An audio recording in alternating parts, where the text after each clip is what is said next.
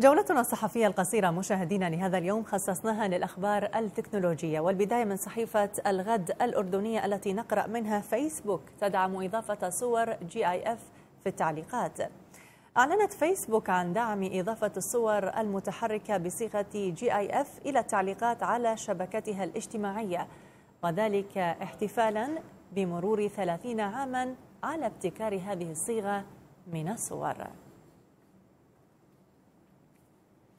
اخترنا لكم مشاهدينا من صحيفة النهار اللبنانية هاتفان جديدان من لينوفو لذوي الدخل المحدود.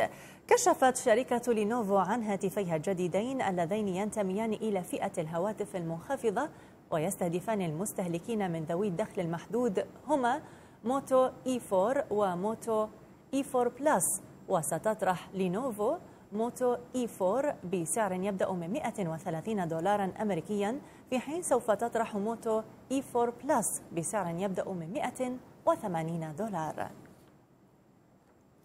صحيفة الإمارات اليوم مشاهدين عنونت بين صفحاتها برنامج خبيث قادر على قطع شبكات الكهرباء. كشفت شركتان متخصصتان في أمن الإنترنت عن برنامج خبيث معقد قادر على قطع الكهرباء من خلال إصدار أوامر لأجهزة الكمبيوتر بإغلاق محولات الطاقة الكهربائية. نطالع مشاهدينا من صحيفة القبس الكويتية أهم ميزتين في آيفون 8 لا تفصح شركة أبل الأمريكية في العادة عن المزايا الجديدة لهواتف آيفون إلا عند طرحها بشكل رسمي. لكن الشركتين اللتين تقومان بتصنيع الأجهزة تحدثتا عن ميزتين مهمتين في هاتف آيفون 8 المرتقب. تكمنان في خاصية الشحن اللاسلكي وكاميرا أمامية تتيح للمستخدم أن يقفل الهاتف من خلال وجهه.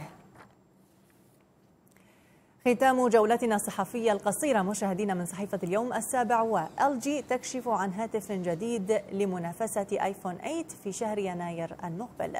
كشفت تقارير جديدة أن شركة LG الكورية الجنوبية تنوي تغيير خططها الخاصة بالعام المقبل وتدرس إطلاق هاتفها الجديد جي 7 قبل موعده بعدة أشهر لتتمكن من بدء العام الجديد بهاتف قوي قادر على منافسة الهواتف الذكية الأخرى خاصة مع استعداد أبل لطرح ثلاثة هواتف جديدة في شهر أيلول سبتمبر المقبل.